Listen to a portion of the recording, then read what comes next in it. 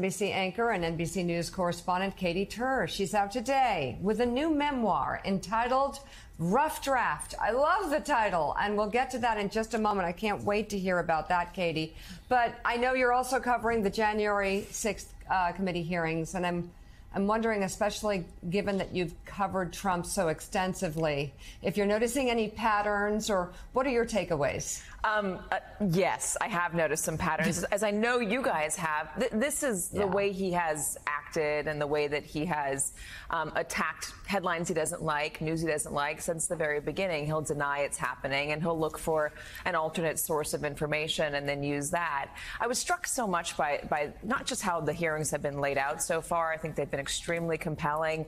I think it is incredible to see uh, Trump's advisors, his allies on tape, under oath, telling the truth, saying that they knew the election wasn't stolen, that there was no fraud, and that they told the president over and over and over again over and over and over again and over and over and over again, and he just didn't want to hear it, that he actively looked for other information. Um, I think what Bill Barr said under oath was very interesting, that there was never an indication of interest and what the actual facts were. So instead of listening to all of his advisors and his uh, attorney general or his deputy uh, acting attorney general who was going out and chasing down all of the conspiracies that he was being fed, the whack a mole, as Joe was saying, instead he listened to the guy who was um, allegedly, according to those under oath, drunk on, on election night. And, and the why did he do that? When Zoe Lofgren tied that back to the grift tied that back to the $250 million that were raised off those emails. And you get those emails, as I do, blanketing mm-hmm. your inbox every single day, telling you you're special. And Donald Trump wants to know why you haven't signed up, why you're not on the team, why you haven't given money. Come have a dinner with us. We're raffling it off, etc. Um, using that money to to not fight the election fraud as they were claiming it was, but instead to to pay off campaign debt or to to pay off um, those in their orbit to give speeches.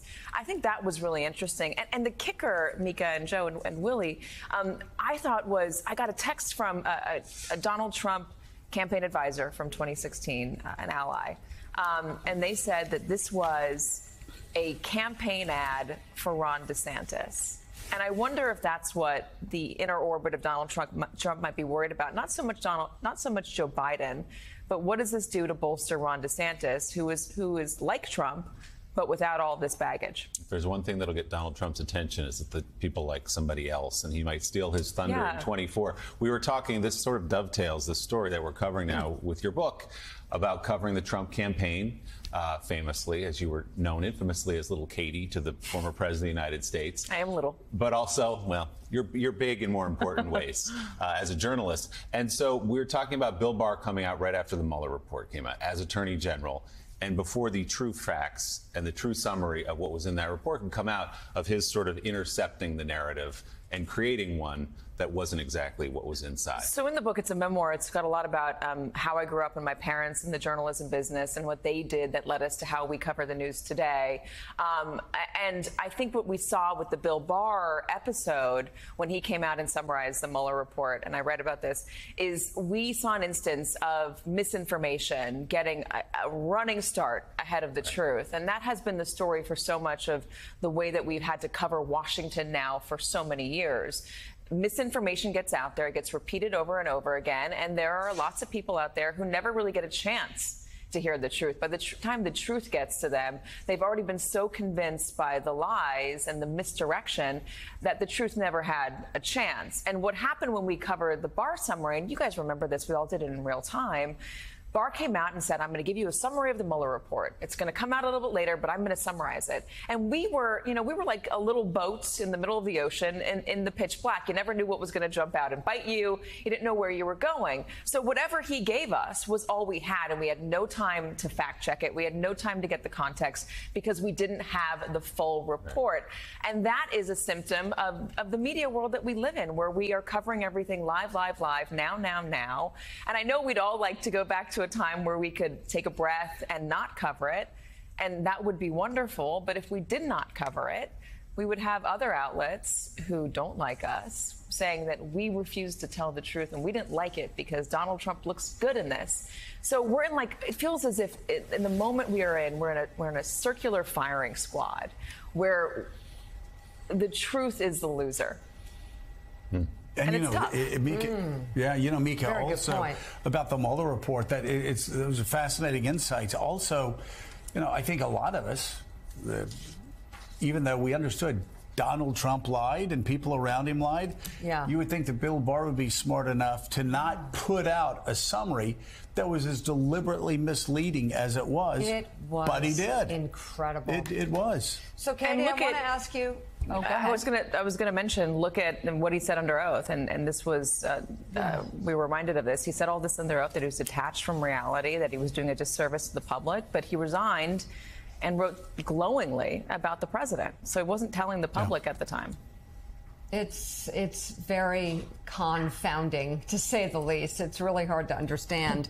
Um, let's talk about your book, Rough Draft. I love it. Um, it's an incredibly personal story. Um, you you really go there. You share your journey um, with your parents as a couple in the news business, and also as individuals. And I'm curious um, what it was like for you, the, the process, the emotional process of, of the joys, the challenges, the changes, the surprises, putting that all to paper. What was that like for you?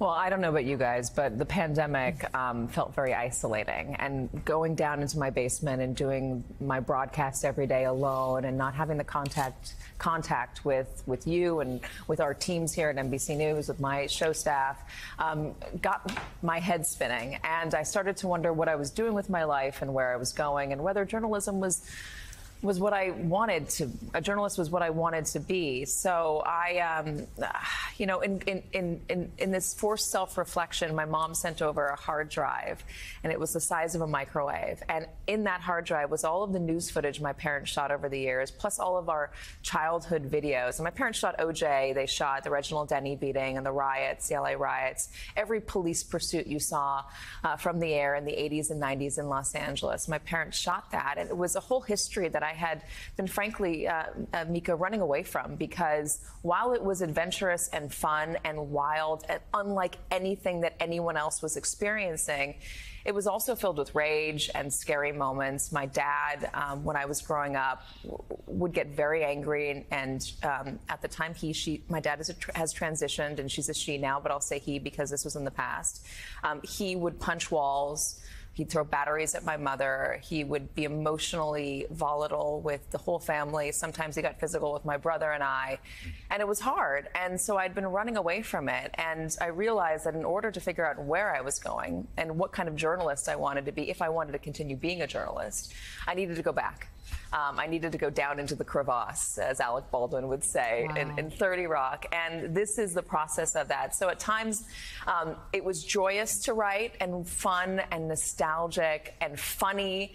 And at other times it got very hard. But, you know, uh, it's the truth. I'm so interested, Katy, in you hearing you because I think we all reevaluated, right? We looked at our lives and what's important to us. What was it about your job and your career that gave you some second thoughts for a minute? Well, the world we're living in, where nobody can agree on a, a, set of facts or, or there's large division in, in this society. And it can sometimes feel like, am I is anybody listening? Am I getting through to, am I getting through to anybody? Um, how do you convince somebody that they're being lied to? How do you convince somebody of the truth when they don't want to hear the truth? That it, this position was starting to feel futile. Um, and I wanted to figure out if it really was and I, you know, I talk about going to a Trump rally in Macon, Georgia, and speaking to people there, and wondering why they don't have any trust for um, a, a, journalist in my position, you know, at this network.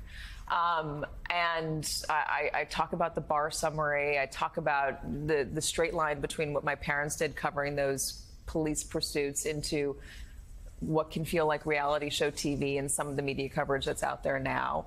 Um, and I, the, the reflection of it um, ultimately led me to thinking that we can make a difference. There are people out there who do want to hear the truth. There's a large swath of the public who wants to know what's going on. They're out there.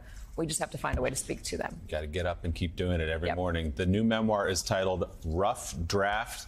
Katy Tur, congratulations on the book. Thanks for coming in this morning and say hi to Tony. me. Thank you. All right.